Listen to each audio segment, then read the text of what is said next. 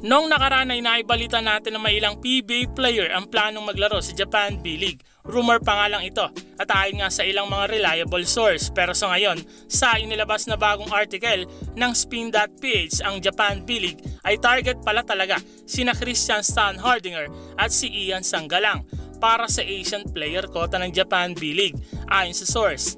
At ayon sa source ay walang magiging problema sa paglalaro ni Christian Stan Hardinger sa Japan kahit na nare-recognize ito ng FIBA bilang naturalized player sa ating Gilas Pilipinas.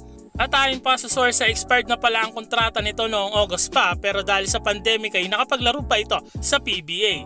Kaya malaki ang tsansang si Christian ay makapaglaro na talaga sa Japan B-League pero nakadepende ito sa magiging kilos ng PBA sa issue na ito.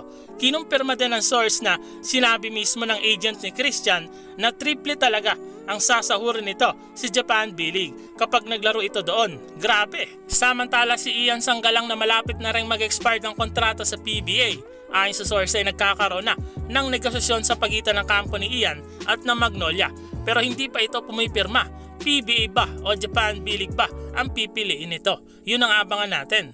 Samantala ilang PBA player pa ang malapit ng mag-expire ng kontrata sa PBA na nasa radar ng ilang team sa Japan B-League. Andiyan na nga sina CJ Perez, Terence Romeo, Matthew Wright, Calvin Optana, Roosevelt Adams at si Jericho Cruz. Ayon pa sa source ay si Ray Suerte na naglaro sa ating Gilas Pilipinas noong nakaraan ay target din ng ilang Japanese team sa B-League.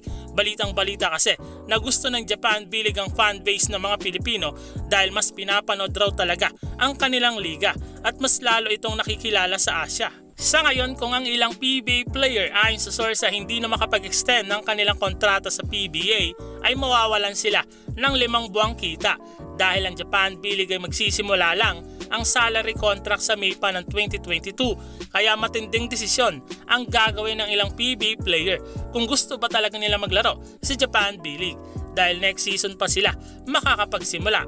Dahil nagsisimula na ang Japan B-League ngayong October na. Sa ngayon, meron ng walong player ang maglalaro sa Japan B-League at ayon nga sa ilang balita ay maaring magdagdagan pa ito sa mga darating na panahon. At yun ang aabangan natin sa development na mangyayari. Sing lang mga ka-BM, isang napakabilis na update lang sa mundo ng basketball. Huwag kalimutang mag-subscribe. Hanggang sa muli.